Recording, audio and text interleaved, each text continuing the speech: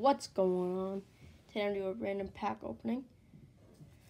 So, show you the lineup of what we're going to be opening. Some 2021 Topps Chrome, four cards, purple parallel in every pack, I believe. And then we got 2020 Allen and Ginter. This thing is weird. And some 93 hockey draft. So, start off with the older packs. Start off with this weird oddball pack that I know nothing about. So they look like cards. Big surprise. Huh, we got card number one of the set. Okay. This is not what I was expecting. Got a card flipped over. I don't know what these are. Please, somebody tell me. Um, seems like a lot of cards are flipped but some pretty cool artwork, I guess. So, that's that pack. Really weird, they're kind of stuck together. So now we're going to move on to the 93 hockey draft pack.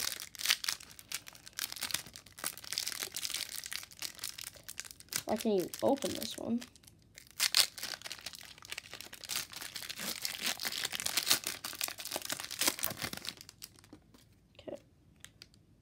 These are also kind of stuck. That guy. That guy. That's not a guy. That girl. That guy. That guy. That guy. That guy. Cat. Uh, yeah.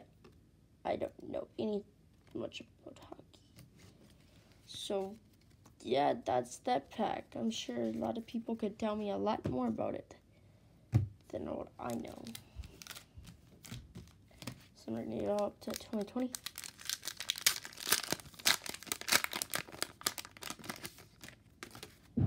Okay, Alex Bregman.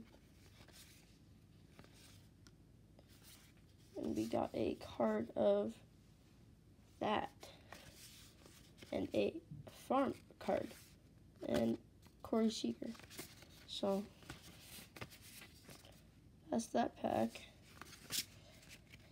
Bregman's my fave. Now the best pack. It is the 2021 Topps Chrome. First time ever opening this. These are kind of warped. So Deivi Garcia, Sam Huff, and our purple is a Logan Gilbert and Kevin Pillar. So three rookies and one normal player. So that's that for this video. Thank you for watching, and I'll see you guys next time.